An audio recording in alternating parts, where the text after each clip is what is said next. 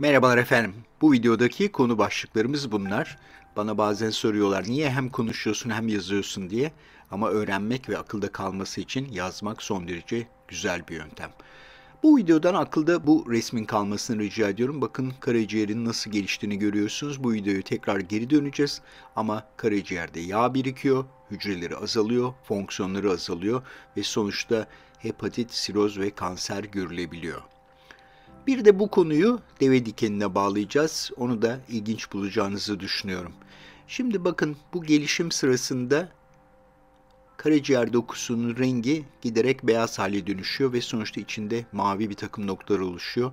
İşte bu hadise sağlıklı karaciğerin önce yağlı karaciğere sonra bir çeşit yağlı hepatit, siroz ve kansere dönüşmesi. Yağlı karaciğerin illa siroza dönüşecek bir kaydı yok. %3 oranında çok yüksek değil ve asıl önemli olan yağlı hepatitten siroza geçiş.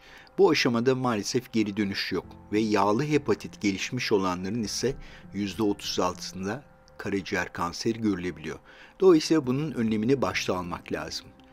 Bir diğer önemli noktalardan bir tanesi de şu, ülkemizde %25 oranında yağlı karaciğer görülüyor, karaciğer yağlanması görülüyor.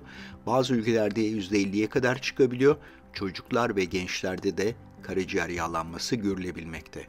Türkiye'de 500 bin kişinin siroz tehdidi altında olduğu düşünülüyor. Ama karaciğer yağlanması sadece karaciğerle ilgili bir şey değil. Şeker hastalığı, kolesterol, trigliserit yüksekliği ve sonuçta kalp damar hastalıklarıyla sonuçlanıyor. Bu yüzden büyük önemi var. Karaciğer Araştırmaları Vakfı ve Türk Gastroenteroloji Derneği'nin küçük broşürleri var. Onları internetten bulabilirsiniz. Şimdi efendim karaciğer yağlanması belirtileri nedir diye soracak olursanız çoğu hastada belirti yok. Ama ciddi bir grupta yorgunluk ve halsizlik, karnın sağ üst bölgesindeki karaciğer orada dolgunluk ve hafif ağrı görülüyor. Ama bizim çok sık gördüğümüz bir hadise herhangi bir nedenden dolayı bir ultrasonografi yapılıyor ve ultrasonografide karaciğerin yağlandığı saptanılıyor. Hasta bunu derecelendiriliyor. Derecelendirmesinin de önemi var. Bir de kan tetkikleri yapılıyor. Biliyorsunuz AST, ALT karaciğer fonksiyon testleri. Burada önemli olan yükseklik başına değil, AST, ALT oranının birden küçük olmasıdır. Ve biz ALT oranının bu şekilde saptıyoruz ve ALT'nin tek başına yüksekliğini de mutlaka takip etmek gerekiyor. Ama korkmayınız genellikle ilaçlarla geçici olarak yükselir sonra geri döner. Tabii ki yağ dokusu birikince karaciğerin elastisitesi bozuluyor. Fibroskan ve MR ve bilgisayarlı tomografi ile de bunlar saptanabiliyor. Karaciğer yağlanması neden olur? Basitçe vücutta yağ olursa karaciğerde de yağ birikir. Özellikle trigliserit depolanıyor. Trigliserit normalde yağ dokusunda depolanması lazım ama kanda yağ asidi sonra karaciğerimiz onları tekrar trigliserit olarak depoluyor. Toksik hale dönüşüyor, iltihabi reaksiyon, iyileşme ve sonra fibrozis ve karaciğer fonksiyon bozukluğu. Hepatit ve siroz. Bakın bu işin çok detayına girmeyeceğim ama leptin doygunluk hormonu ve insülin direnci başlangıç aşamasında sonrasında şeker yüksekliği ve kolesterol yüksekliği geliyor. Yani yeme içmeyle ne kadar yakından ilgisi var görüyorsunuz. Son zamanların popüler lafı bağırsaklar ikinci beyindir ve genellikle bir bağırsak beyin aksından bahsedilir. Ama aslında bu aksın bir öncesinde karaciğere haksızlık edilmiş. Aslında bağırsak karaciğer aksı daha önemli. Hatta bir üçgen var. Bağırsak karaciğer kalp damar hastalıkları bizim açımızdan önemi var. Bu bir imparatorluk ve bir imparatorluğun patronu da insülin. Çünkü insülin sadece karbonhidrat metabolizmasında değil, yağların depolanması, yıkımı ve hatta proteinlerden şeker yapılmasıyla ilgili her şeyi kontrol ediyor. Yağlar karaciğerde birikince okside oluyorlar. Okside olunca aynen kireçlenmede olduğu gibi toksik hale dönüşüyorlar. Ve sonuçta karaciğerimizin ana hücreleri yavaş yavaş fonksiyonlarını kaybediyor. Yerine iyileşme dokusu, fibrozis oluyor ama iyileşmiyor. Aksine karaciğerin bütün çalıştığı sistem bozuluyor. Bu işin başlangıcında metabolik sendrom var. Biliyorsunuz göbek yüksek trigliserit düzeyi, düşük HDL, tansiyon yüksekliği ve açlık kan şekerinin sınıra dayanması ve tabii ki insülin direnci. İşte bu aslında karaciğer yağlanmasının başlangıcı. Hatta buna metabolik karaciğer deniliyor.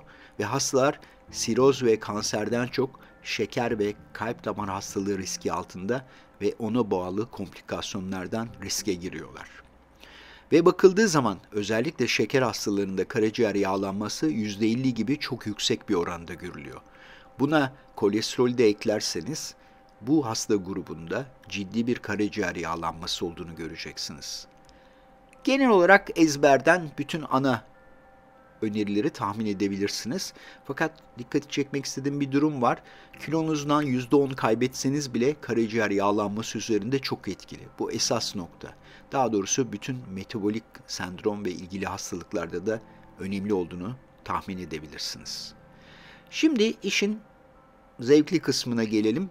Nasıl bir diyet uygulayayım da karaciğer yağlanmasını düzelteyim? Bakın E vitamini zengin besinler, kırmızı tatlı dolmalık biber, fıstık, fındık başta. Çünkü E vitamini tedavi içinde kullanılıyor. Ve gene omega 3 önemli. Lif tüketimi çok önemli. Sebzeler ve enginarın ayrı bir yeri var.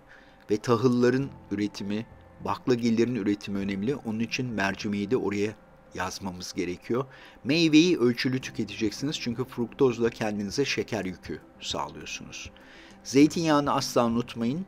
Fermente gıdalardan kefir çok önemli. Kabız kalmayın. Tabii ki sarımsak, zeytinyağını tekrar yazdım önemli olduğu için chia ve keten tohumunda tüketmemiz gerekiyor. İşlenmiş gıdalardan uzak duralım çünkü palmiye yağı var ve palmiye yağı karaciğer için hiç iyi değil. Sülfür içeriği nedeniyle de brokoli ve brüksel lahanasını da listemize ekleyebiliriz. Yani aslında genelde sağlıklı Akdeniz diyeti işin esası. Tabii ki pişirme yöntemleri de önemli. Buharda pişirme, haşlama, ızgara bunlar çok sağlıklı. Ve bir yılda ciddi bir şekilde karaciğer yağlanmasını geri çevirebilirsiniz. Hatta yok edebilirsiniz. Bu sizin elinizde ve böylelikle şekere, kolesterol ve damar tıkanıklığına giden yolu da baştan kapatmış olursunuz. Söylemiştim E vitamini destek olarak ilaç tedavisi için kullanılıyor. Spesifik bir ilacı yok. 400 mg E vitamini yeterli günde. Şekeri kontrol etmek çok önemli. Bu gördüğünüz tanınmış ilaçlar Karaciğer yağlanmasında da kullanılıyor. Ve kolesterol ilacı statinlerde eğer hiçbir şey yapamıyorsanız şart oluyor. Trigliserit için ise fenofibrat kullanılıyor. Bizim damar tıkanıklığında kullandığımız Trental ilacı kullanılıyor. Ve de Ursofalk diye bir ilacımız var. Bu bir safra asidi karaciğer koruyuculuğu en etkin olan ilaçlardan bir tanesi. Şimdi hazır laf karaciğer koruyuculuğuna gelmişse o zaman bir takım takviyeler var. Bunlar flavonoidler, bitkilerin içerisindeki fenol bileşikleri. Bunlar çok ciddi bir şekilde çalışılıyor. Örneğin resveratrol ile ilgili Amerikan Ulusal Sağlık Enstitüsü'nde bir çalışma var. Ama ben burada kuarsetin ve ginkgo biloba'dan sonra silibine dikkatinizi çekmek istiyorum. İsmi de gayet güzel, hoş, sempatik bir ismi var. Bu silibin mantar ve parasetamol zehirlenmelerinde kullanılıyor. Karaciğer hasarını geriye çevirebilmek için. Ve sadece ve sadece Refik Saydam Hıfzı Sıha Enstitüsü zehir merkezinde var bu ilaç. Oradan getirtebiliyorsunuz. Öyle gidip alabileceğiniz türde bir ilaç değil. Ve biliyor musunuz bu ilacın ana etkin maddesi nedir? Deve dikeni tohumu. Deve dikeni tohumundan üretilmiş ve acil durumlarda hayat kurtarıcı olabiliyor. Ve biliyorsunuz ilaçların önemli bir kısmı doğadan geliyor. Biz de doğadan gelen gıdaları ilaçlarımız olarak kullanabiliriz. Çok teşekkür ediyorum. Görüşmek üzere. Hoşçakalınız.